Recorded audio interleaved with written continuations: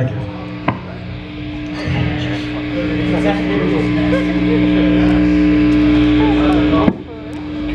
All right, this next one's called Images, the Forgotten Torture.